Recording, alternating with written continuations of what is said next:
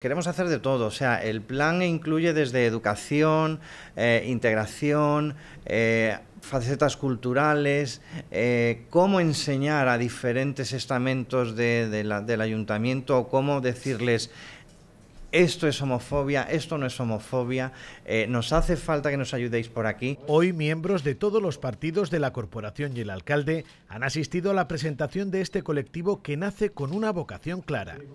Hay todavía muchos prejuicios alrededor de la orientación sexual y la identidad de género y sobre todo en el ámbito rural, que es donde más todavía cuesta romper esos prejuicios y eh, para ello lo que pretendemos es hacer una normalización, o sea, una normalización de lo que son las personas LGTBI.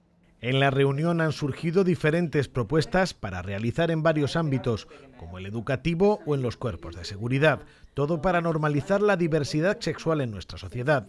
Mijas es un municipio pionero en dar este paso. Nunca eh, habíamos asistido a un pleno donde se aprobaran medidas para el colectivo y nunca habíamos estado en un acto donde hubiera concejales de todos los partidos políticos y esto es muy importante porque significa que al menos desde las instituciones ya está claro que somos ciudadanos como cualquiera. Costa del Sol, si puede, ofrecerá un espacio semanal en su sede municipal al colectivo, los viernes de 10 a 12 de la mañana, para atender las demandas de la asociación y a todas las personas que lo necesiten. Y me puedo sentir perfectamente identificado con vosotros, aunque mi condición sexual sea otra, pero como persona de esta sociedad hay que retirar esos comportamientos. Y hay que retirarlo desde la normalidad y desde las acciones cívicas.